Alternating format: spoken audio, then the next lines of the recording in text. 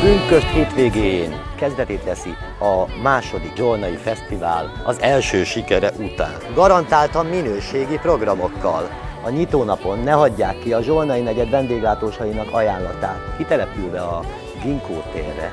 Minden egyes kemencés finomságot, lángos, giroszt, a régió ízeit féláron kaphatunk meg az első koncert kezdetéig.